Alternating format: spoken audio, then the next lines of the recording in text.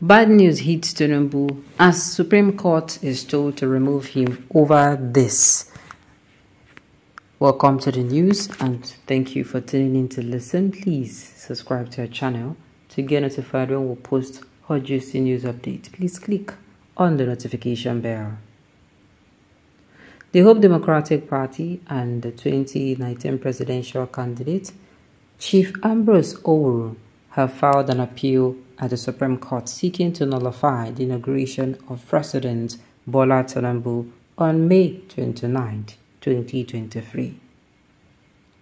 The appellants claim that Tinubu's presidency is illegitimate as there, as there is a pending suit of the Apex Court over the rightful winner of the 2019 presidential election. As the 2023 presidential election.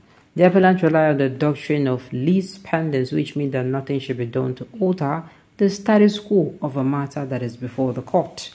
They argue that Tinubu, who joined the suit as an interested party on May 18, 2023, was aware of the existing legal dispute over the 2019 presidential election and should have waited patiently, okay, 2019, and should have waited for the outcome of a suit before presenting himself for inauguration.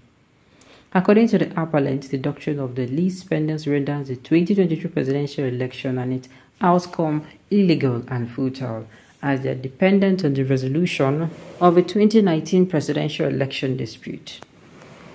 The appellants contend that they are adjudged and constitutional winners of the 2019 presidential election as against the declaration of the Independent National Electoral Commission INEC which announced Muhammad Buhari as the winner.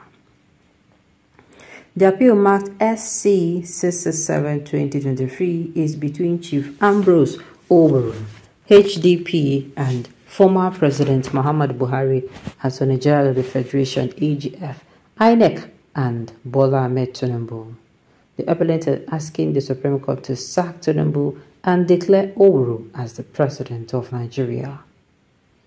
In a press statement issued in Abuja, the national coordinator of the HDP, Alhaji Awal Ibrahim, accused All Progressive Congress APC-led government of usurping power and disregarding the rule of law and the constitution.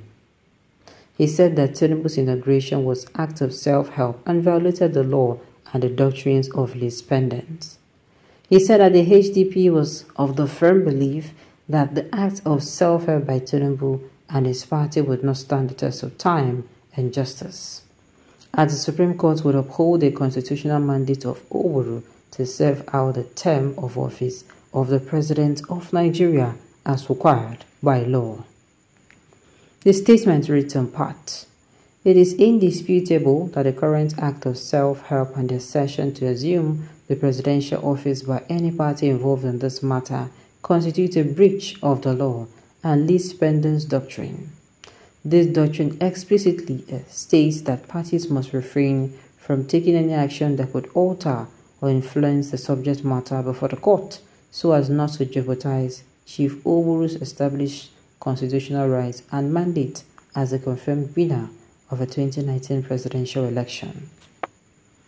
There is documented evidence that Asiwaju Bola Ahmed recognizing the lis pendens doctrine an ongoing legal dispute between Owuru and Buhari regarding the mandate usurpation actively participated in the existing court proceedings on May 18, 2023. This occurred before his alleged inauguration concerning the 2023 presidential electoral controversy. Legally, he is obligated to await the resolution of the ongoing proceedings related to the constitutional mandate and entitlement of Owuru to fulfill the presidency.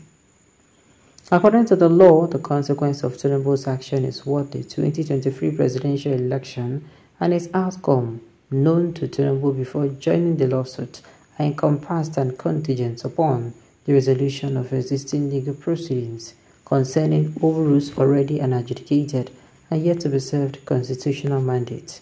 This is accordance with the legal requirement for Owuru to complete the term of the presidency of Nigeria? Well, if you ask me, oh, wahala wahala no too much like wahala don too much o sansan don pass garri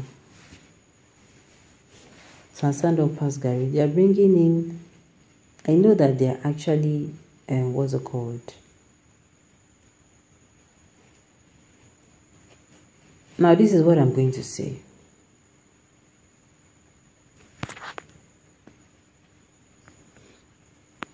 let me just say this. When i go cry till christ go come till the one of these evil write-up is already in jail let baba come back. How?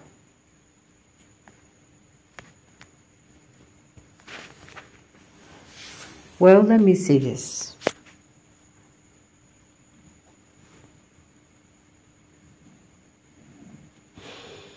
All right this issue now like i said before from the beginning first of all, know, clear.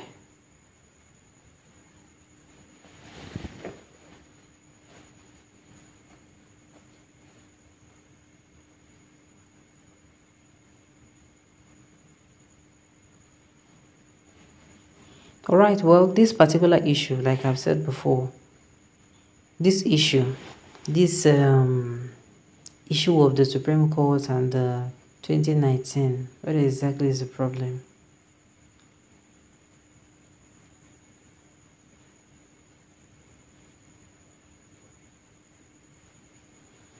All right, this issue now, 2019. Hmm. 2019. that then since they go work, Abi, what exactly do they even want? Please stop looking for cheap attention. We need to move the nation forward. The whole world is in trouble. Hmm.